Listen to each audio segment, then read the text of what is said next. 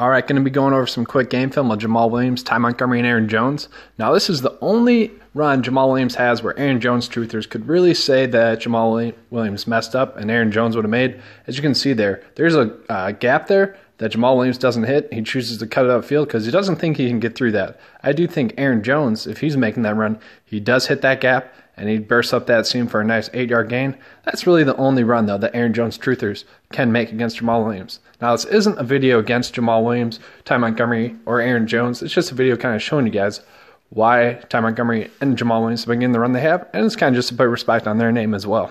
Watch this run by Jamaal Williams here, though.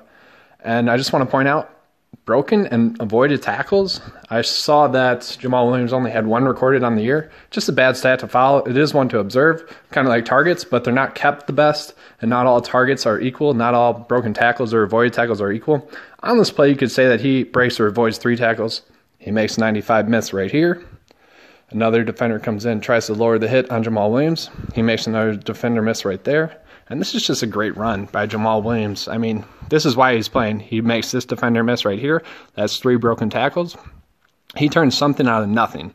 And this, like, he just makes plays and he's always falling forward. This is what the Green Bay Packers like in Jamaal Williams. Three broken or avoided tackles on this play. That's why that's not a good stat to follow all the time, but it is one to observe. I definitely agree there. On this next play, we're going to see Ty Montgomery.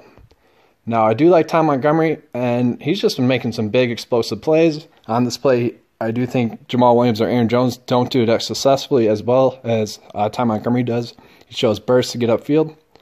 Now, on this play, I do think Jamaal Williams and Aaron Jones would make it, but it's the simple fact that Ty Montgomery is in the game is why the defense is in this formation. Ty Montgomery is the passing down back. They opened up the field for Ty Montgomery to have a nice, open, wide open uh, gap lane to run. He hits the gap, goes through the hole, the small little hole right there, bursts through it, has a nice solid seven yard gain.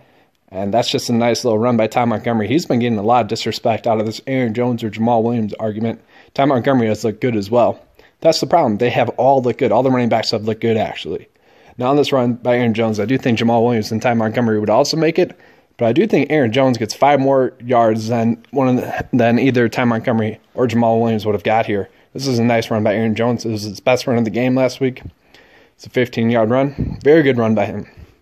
But like I said, all the running backs would have made this run. But still, we should respect it. It was a good run by him. Now, this run by Aaron Jones.